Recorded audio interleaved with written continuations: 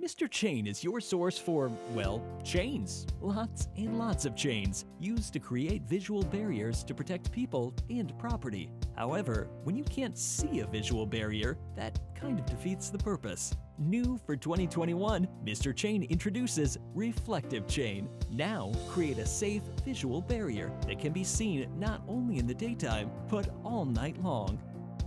Using reflective tape that's Department of Transportation approved, this new chain produces an extremely bright light. Reflective chain is available in over 20 colors currently offered. Mr. Chain, America's plastic chain company, for over 50 years.